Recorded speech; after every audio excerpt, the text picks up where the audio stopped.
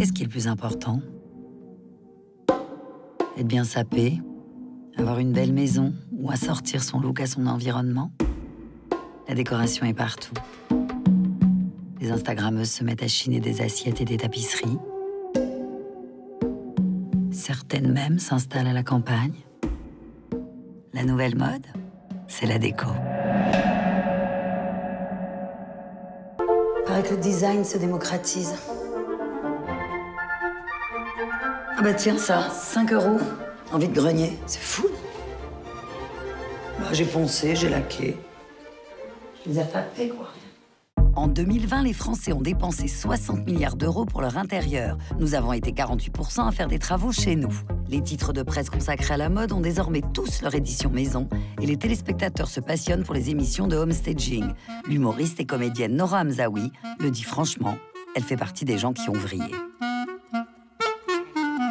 Je passe très très souvent euh, dans cette boutique. Si la vendeuse était là pour en témoigner, d'ailleurs ça doit être assez pénible parce que vraiment je pense que je fais partie de ces gens qui passent des heures à regarder et à toucher et elle, elle doit se dire elle va encore rien prendre. Et bonjour. Bonjour, pardon. C'est vraiment le l'anti-quotidien. C'est des matières, tout est un peu épais, tout tombe bien. Les tringles à rideaux sont bien, les pinces qui tiennent les rideaux sont bien, les têtes d'oreiller. Enfin, les gens s'en tapent, hein, clairement.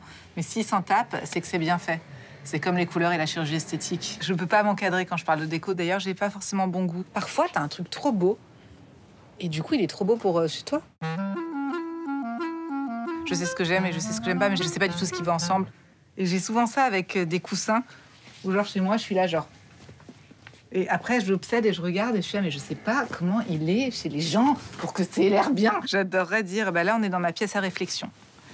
C'est une pièce euh, dans laquelle je m'allonge et puis je réfléchis, euh, je me pose, je prends du temps pour moi. Si j'avais un budget illimité, je deviendrais folle, mais genre vraiment folle. J'aurais ça en automne-hiver et je changerais pour le printemps-été. Du lin ou quelque chose de plus léger. Je prendrais plein de parures de lit. Je prendrais ce tapis, je pense. Parce que ça, c'est vraiment un truc que tu achètes si tu as budget illimité. Finalement, même à l'envers, je le prends. Franchement, même rouler, je le garde rouler dans un coin. Ça, là, j'adore. Et ça, évidemment, tu te projettes. Après, tu te dis, je vais, je vais prendre mon petit peignoir en soie, mes petits chaussons, tu sais, avec des plumes au bout, et puis je vais m'allonger là-dessus. Je suis très timide et très, euh, enfin, de moins en moins, mais quand même très euh, soumise au regard des gens, quand même, et que du coup, j'ose rien. Pour moi, la mode, ça réveille des trucs, euh, des. T'es obligé de te regarder, quoi tu redresses tes trucs, faut que tu mettes tes trucs, faut que tu redresses ton truc. Là, il faudrait que tu fasses ça. Es, en fait, fous-moi la paix, tu vois. Je vis normalement. La déco, euh, c'était un peu permis. Moi, globalement, dans ma vie, je passe beaucoup de temps pour rien faire. hein. Comme le shopping en ligne, quoi. Je remplis énormément de paniers, j'ai beaucoup de fenêtres ouvertes, mais à la fin, il se passe pas grand-chose. Je suis une allumeuse de la déco. Ça y est, c'est décidé.